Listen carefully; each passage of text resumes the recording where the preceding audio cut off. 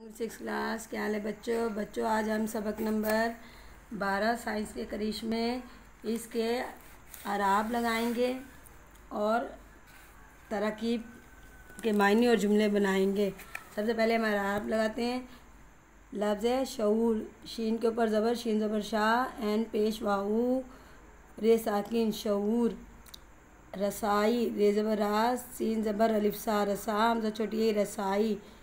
मादनियात meme ज़बर N मा दाल जेर दी मा मादी नून जेर नी येलियात ए साकिन मादनियात ईजादात अलजेर ये ई जीम ज़बर अलिफ जा, ईजा दाल ज़बर अलिफ दा ते साकिन ईजादात पेचीदा पे ज़बर ये पे चाहिए ची जे के नीचे जे, जेर है, पे के ऊपर ज़बर है पे ज़बर ये पे छः ज़रिए ची, दाल ज़बर हेदा पेचीदा अब हम तरकीब के मानी और जुमले बनाएँगे। तरकीब मानी जुमले।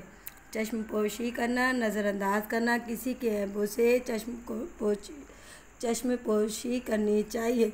बेशबहा कीमती, अहमद के पास बहुत बेशबहा मोती हैं। मरहून मिन्नत एहसानमंद इंसान की तरक्की, साइंस की मरहून मन्नत है। पैगाम रसानी, पैगाम पहुँचाना, टेलीफोन पैगाम रसानी का अहम ज़रिया है।